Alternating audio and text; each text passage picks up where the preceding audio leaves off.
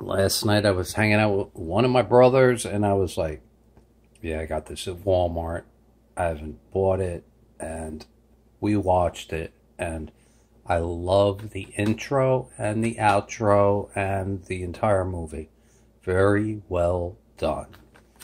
Can't call this the unboxing Justice League, but we like the way it started, the way it ended. He had a 75 inch 4K TV and a PS3. He has never watched a Blu ray movie on his TV until this showed up.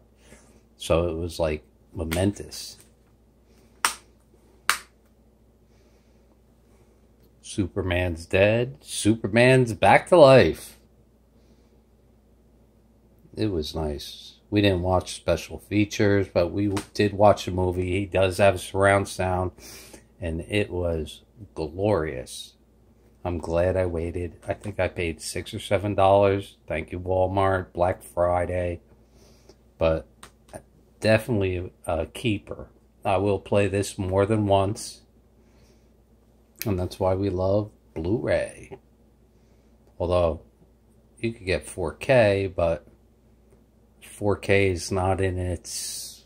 Uh, unless you have like 65, 75, 4K is not worth the investment.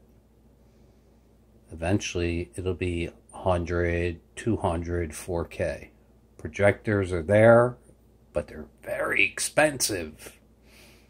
Hey, hopefully, I could go to Vegas and see what's up with the Justice League.